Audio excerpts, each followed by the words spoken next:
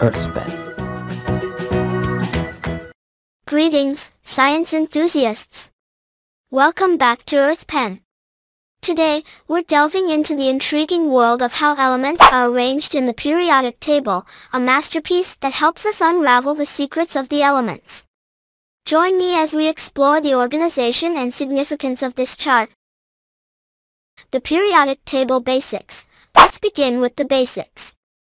The periodic table is a tabular arrangement of chemical elements, ordered by their atomic number, electron configuration, and recurring chemical properties.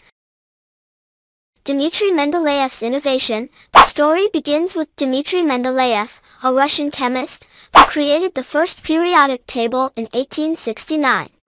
He arranged elements by increasing atomic mass, leaving spaces for yet to be discovered elements, the periodic law, Mendeleev's work led to the formulation of the periodic law, which states that the properties of elements are periodic functions of their atomic numbers, rather than atomic masses.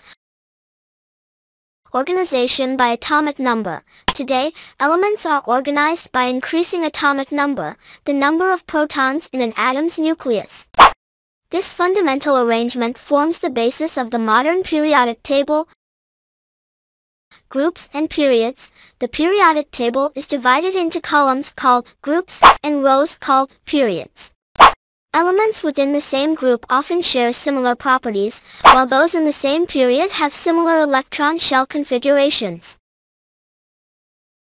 Noble gases, group 18, known as the noble gases, stands out.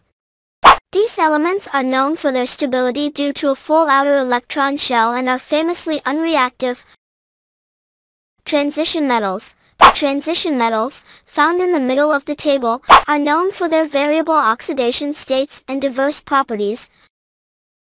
Lanthanides and actinides. Below the main table, we find the lanthanides and actinide series, which include the rare earth elements and radioactive elements like uranium and thorium.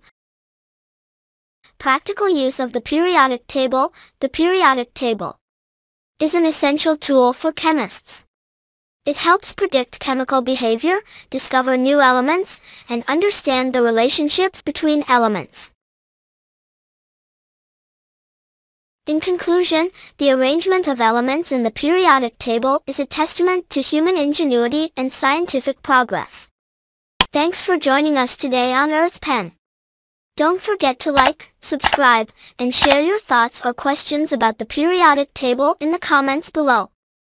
Until next time, keep exploring the fascinating world of elements and the wonders of science. Once again, this is Earth Pen. Learning has never been this easy for anyone, anywhere.